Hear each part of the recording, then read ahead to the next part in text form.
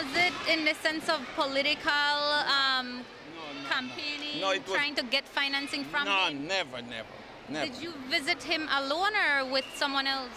I think I visited with someone else, but it's been some time, and like I said, I didn't give it that much importance. Have you ever received campaign financing from him? No. When he, when you spoke with him, what name did he introduce himself as?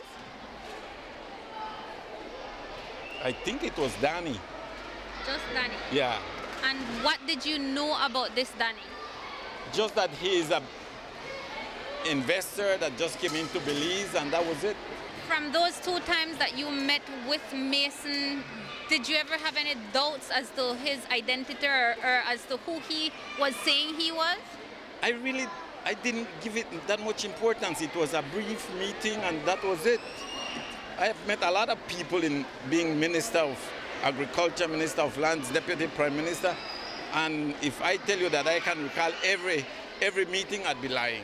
So you just went to have drinks with this gentleman a couple of times. I just I was invited. I don't even remember, to be sincere, who had invited me because I was trying to recall because I knew you guys would be here today. And um, but not even that because it wasn't to me that important.